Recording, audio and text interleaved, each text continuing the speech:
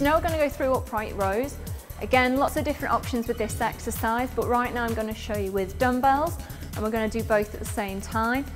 So feet shoulder width apart, nice and strong with the core, upright with your body, and you're just going to bring both dumbbells up to chest height. And we're going to have a little bit of a hold at the top.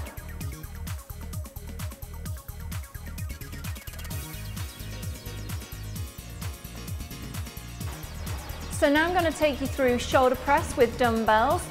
You've got two options, you can do them standing or you can do them seated. What I tend to say is if you do suffer with a bad back, do them seated to begin with until you've got really good technique. To do them standing, get a nice comfortable position with the feet, nice and tight with the core, nice and upright with the body, shoulders back. And from there, what we're gonna do is take the dumbbells up, and then nice and smoothly, we're gonna take them up and then down. I personally tend to just keep them there.